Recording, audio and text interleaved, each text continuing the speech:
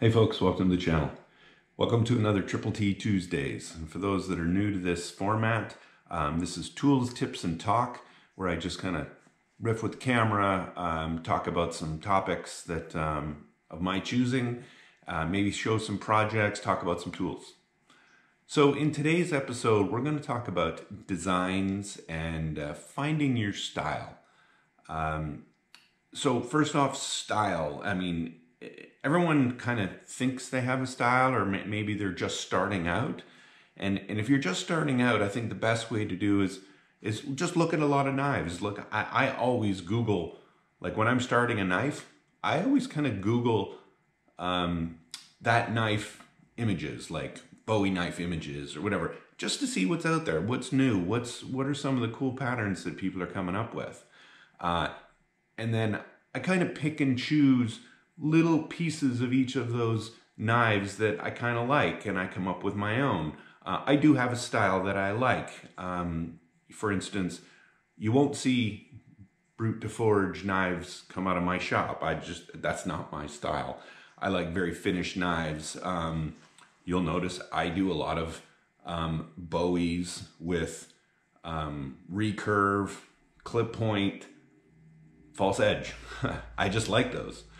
Um, I take a lot of inspiration. My, my, two favorite Smiths, I would say, is probably um, Kyle Royer and um, Curtis Holland uh, at Freeheel Blades. I think those two Smiths I take the most inspiration from just on, you know, the styles that they have. So when it comes to design, um, when I when I first started, I would be I would be winging everything like you know, the, the knife would evolve. But the problem with that is sometimes you don't see things ahead of time. So I'm a firm believer now of designing the knife and and making the knife to your design. And sometimes, sure, you need to modify the design, but at least if I know where I'm going, it helps me plan out the steps in my head. Uh, you know, of, oh, I'm, I need to do a guard, therefore I need to do, you know, I need to make sure the, the, the hidden tang is big enough and, and in the right spot and if it curves and you'll see the upcoming, the video that I'm working on right now has some pretty complicated steps. So uh, I had to rethink it a whole bunch of times and I had a design. So um, something I highly recommend. What I'm going to show in this video is what I used to design, which is um, knifeprint.com, which I'm a big fan of.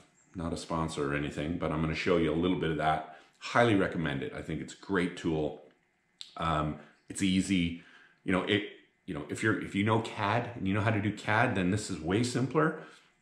Um, so don't bother.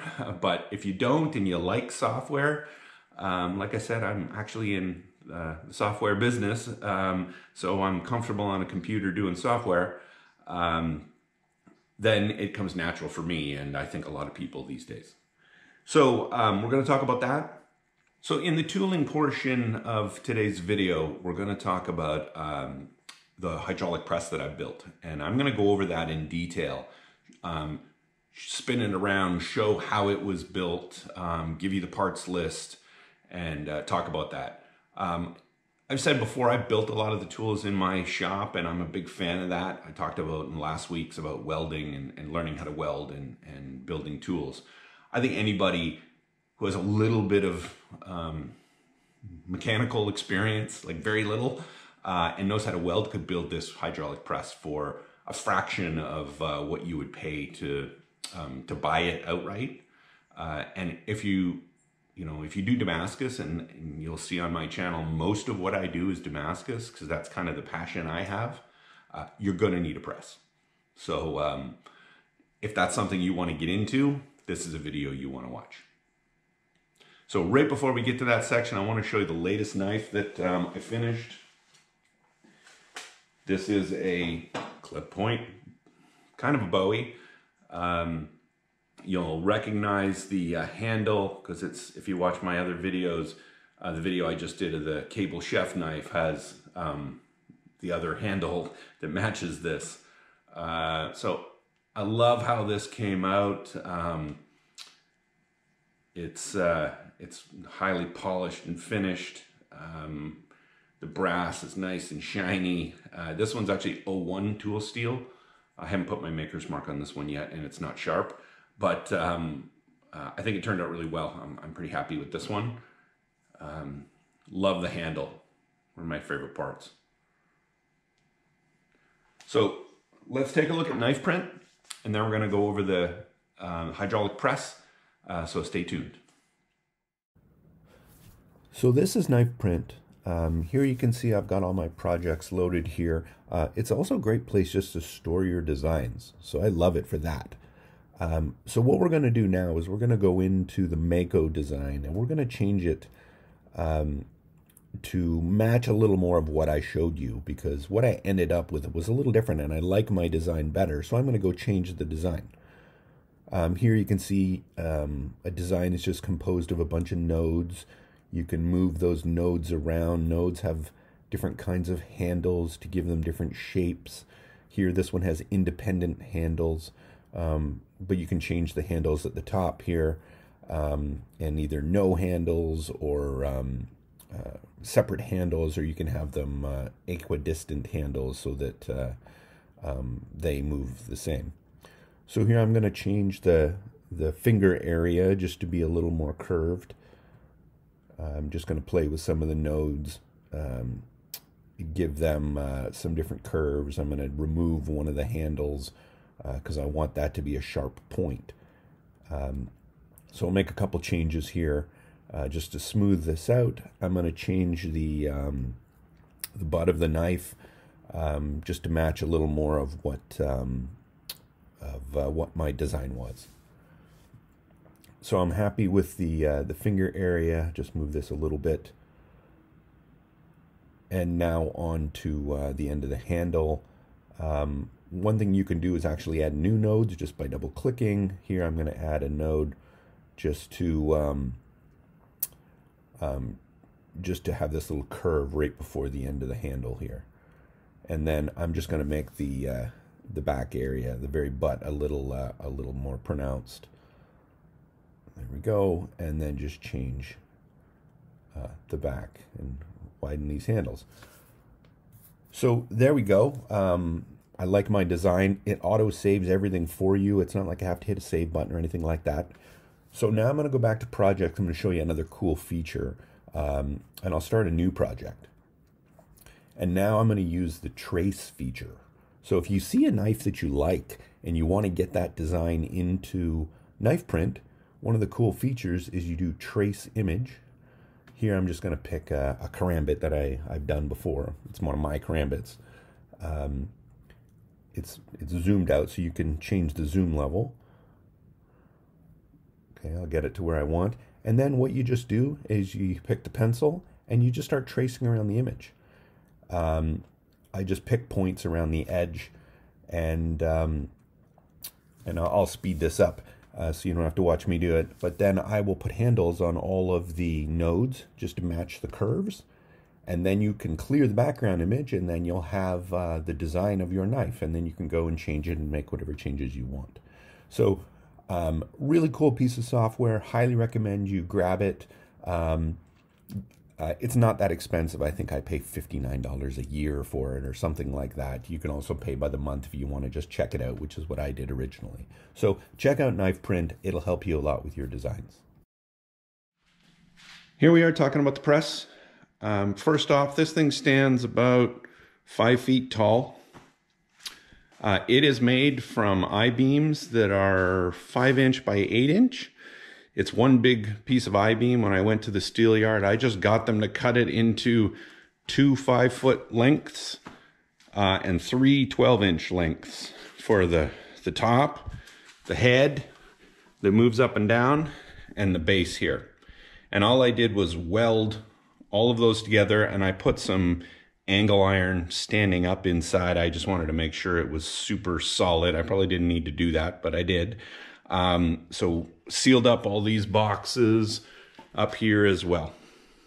So that was the first thing was the structure.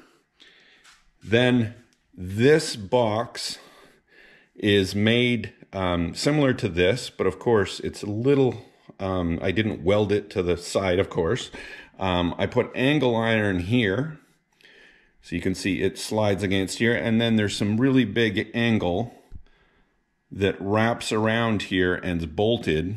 And it's the same on the other side. So it's clamped to this. And you'll notice right here, I just had to bevel the edges just because this is beveled here and I wanted a nice smooth action. Um, works great. Um, it, uh, it keeps it nice and solid. You don't really see it flex very much at all. Then I took, um, I just took two half inch pieces here of steel, um, drilled a two inch uh, hole with a um, uh, hole saw and uh, put these here uh, on the head so I could put the pin Let's talk about the cylinder. So this is a five inch cylinder, five inch bore, so across, and it has an eight inch uh, stroke to it. From here to here, the maximum distance is eight inches, like extended. Um, that's really all you need for a press. Um, you're not going to be doing really, really thick material. I went with the um, uh, cylinder that's got a pin on each side. Um, that just ended up being easier for me. So that's kind of the mechanics of it. You can see it's pretty simple. Um, I created these little um, die holders. These just slide out. I've got all kinds of different dies. I put little um, little things here. I can hold all the dies. These are my flat dies. That's, what I, that's what I use to uh, split my feather Damascus. I've got squaring dies and then some really aggressive rounding dies. So there's the valve, um, goes up and down, uh, attached to a foot pedal so that uh, I can use this without any uh, hands. Okay, let's take a look at the back. So one of the things I built, I wanted to make sure I didn't get hot um, scale dropping down onto the hoses and motor and, and this. So I built this little, it's just a little sled. Um, so the chips would just slide down and slide off the side. And it's attached to the head through a couple of the bolts. So um, yeah, protect that. And then we get back to, oh, it's pretty dirty back here. Um, reservoir, this is a 10 gallon reservoir. Uh, this is what holds your oil. Then you got a pump. Okay, so this is a 13 gallon per minute pump. Uh, and then a five horse motor. Um, reason you want such a big motor for these, you really want the speed of the, um, the head to move a, a, couple of inches a second. And uh, when I turn this on and show you, you'll see that it, it moves pretty quick, and that's what you want. Uh, you don't want one that crawls because it's just going to take longer to press, and uh, it's going to take you more heats to do things. So motor drives the pump, and I didn't know anything about hydraulics when I started this. This is driving oil through the whole system. Okay, you want one that has uh, a valve that has a neutral, meaning when it's when it's on, it's just pumping oil. It's going through the the open part of the valve and nothing's moving. Okay, then when you press it in the up position, it's literally just channeling the oil to uh, one part of the cylinder, which is going to move it. When it gets to the top, then I'm assuming then it forces the oil through the neutral.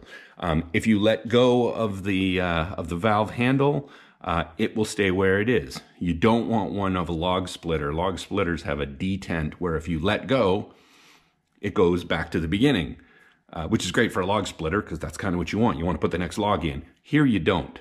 Uh, you don't want it to return. It's just going to take you forever if you if you do that. So that's most of it. The only other things then is an oil filter here. Uh, I got a professional to come and um, and hose the whole thing for me. Uh, so I didn't do any of the hoses because um, I didn't know what I was doing and I didn't feel like doing it. Um, but um, all in all, I think I'm in about 1200 in this build, um, but worth every penny. Uh, I'll put a little uh, um, video embedded here of uh, the power hammer that I first started with that I also made um, on the tire hammer design. Um, you can actually see this is the, the footprint uh, of where it was before I moved it. And I had it bolted into the foundation here. Um, and it shook the whole foundation. um, when uh, when the ram was coming down. So it was really loud. Another reason why I would go with a, a hydraulic press. So let's turn it on and uh, I'll show you how fast this thing moves and how loud it is.